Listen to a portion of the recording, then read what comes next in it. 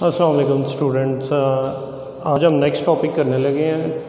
Chapter number eleven का physics का sound chapter है उसका। तो टॉपिक के अंदर जो पहला क्वेश्चन है हमारा, ये तो कर लिया हमने कि हाउ साउंड इज़ प्रोड्यूस और मैं आपको पहले बता चुका हूँ कि sound is produce by vibrating body तो जब भी बॉडी वाइब्रेट करती है तो साउंड इज़ प्रोड्यूस होती है।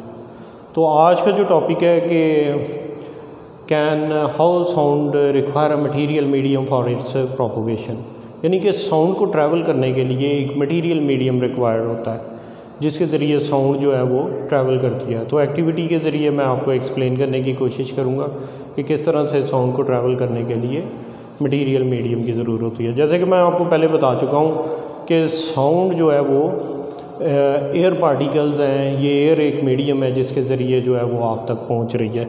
इस तरह सूरज में भी काफ़ी ज़्यादा जो है वो ब्लास्ट हो रहे हैं, लेकिन दरमियान में वैक्यूम है जिसकी वजह से साउंड जो है वो ट्रैवल नहीं कर सकती और वो एक की भी आवाज़ ज़मीन तक नहीं पहुँचती। इसी तरह से जब भी वैक्यूम होगा तो साउंड कैन ट्रैवल तो बार बार मैं ये एक ही बात को कह रहा हूँ कि साउंड को जो है वो ट्रैवल करने के लिए मीडियम रिक्वायर्ड है। मिसाल के तौर पर मैं एक्टिविटी के ज़रिए आपको एक्सप्लेन करता हूँ। आपने क्या करना है? एक जार ले लेना है बेल जार इसके अंदर जो है वो इलेक्ट्रिक बेल लगा देनी है आपने, जिस पे ये हैमर लगा होता है स्मॉल सा, ठीक है? इसको आपने स्विच के साथ अटैच कर देना। ये बेल है। ये हमारा जार है। और यहाँ पे छोटी सी स्पेस है, ठीक है? यहाँ से हम वैक्यूम पंप लगाएँगे, ठीक है? आपने क्या करना है कि ये स्विच स्विच से जो है वो बेल को ऑन कर देना है। सबसे पहले आपने क्या करना है कि बेल को ऑन कर देना है। ये इलेक्ट्रिक वायर है वायर तो बेल को जब आप ऑन करेंगे तो आप देखेंगे कि ये हैमर वाइब्रेट करना शुरू कर देगा और बेल के साथ टकराना शुरू कर देगा। And you will heard sound अब आपने क्या करना है? वैक्यूम पंप के ज़रिए आहिस्ता आहिस्ता हवा को जो है वो बाहर निकालना शुरू कर देना है। तो जैसे जैसे हवा आहिस्ता आहिस्ता बाहर निकलती जाएगी the sound of the bell become more and more feeble ज़्यादा से ज़्यादा हल्की होती जाएगी।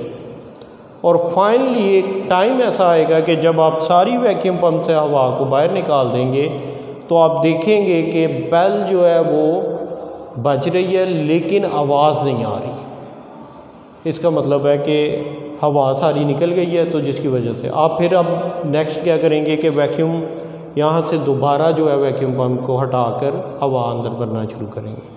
जैसे जैसे हवा अंदर चल जाना शुरू हो जाएगी, आवाज़ मोर एंड मोर लाउडर होती जाएगी।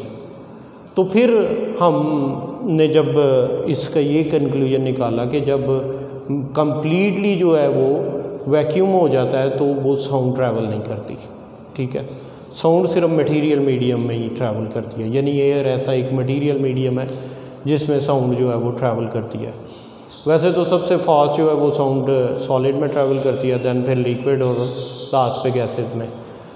तो इस एक्सपेरिमेंट से हम ये कंक्लूड करेंगे कि sound can only travel through a material medium और ये मटेरियल मीडियम उसके लिए बहुत ज़्यादा ज़रूरी है। मैंने कुछ आउटलाइन लिखी हैं। सवाल आपने लिखना है सबसे पहले कि explain that sound require a material medium for its propagation यानी साउंड को ट्रैवल करने के लिए कोई ना कोई मटीरियल मीडियम रिक्वायर्ड है आगे बढ़ने के लिए। तो सबसे पहले ऑपरेटर्स हमने लिया बेल जार लिया हमने इलेक्ट्रिसिटी से कनेक्ट किया और बेल को अंदर हैंग किया और फिर देन ऑन कर दिया। दूसरा बेल है बेल जार है, तीसरा वैक्यूम पंप है, जिसके ज़रिए हमने हवा को बाहर निकाल दिया। तो फिर एंड पे कंक्लूजन हमने यही निकाला कि sound wave can travel in the presence of air कि साउंड जो है वो किसी न किसी मीडियम के ज़रिए ही ट्रैवल कर सकती है। तो जितनी भी हमारे आवाज़ है ना, वो अर्थ के ऊपर, हवा की वजह से ही जो है वो ट्रैवल करती है। तो स्पेस में क्योंकि एयर नहीं है तो इसलिए sound can not travel in the space तो उम्मीद है आपको जो है ये टॉपिक अच्छी तरह समझ आ गया होगा। तो ये सेकंड क्वेश्चन है, इसकी भी तैयारी करें घर बैठ के आप अच्छी तरह से।